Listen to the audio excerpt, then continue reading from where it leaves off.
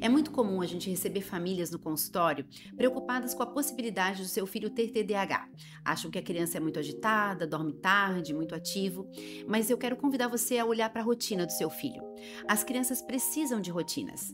Então, crianças que não têm horário para dormir, não têm horário para acordar, usam muito telas, né, dispositivos eletrônicos durante o dia, às vezes ficam na escola de manhã, às vezes à tarde, às vezes num, avô, às vezes num outro parente ou numa babá.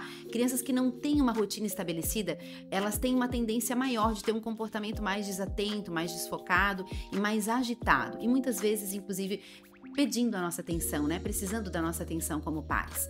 Então quero convidar você a olhar para a rotina da sua família e trazer uma rotina saudável para os seus filhos.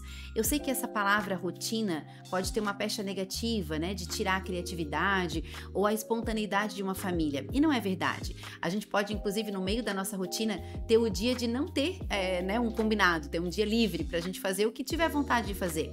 Mas na maioria dos dias a criança precisa para crescer e se desenvolver bem de horário para dormir, horário para acordar, horário para as atividades e atividades ao ar livre com pouca exposição às telas. Espero que vocês possam é, trazer essa realidade para a família de vocês, que vai fazer muito bem, tanto para as crianças quanto para os adultos. E se você gostou desse vídeo, se fez sentido para sua família, curte, comenta, se inscreve aqui no canal e espalhe esse vídeo para outras famílias. Eu tenho certeza que eles também vão ser muito abençoados com essas informações. Um beijão e até o próximo vídeo.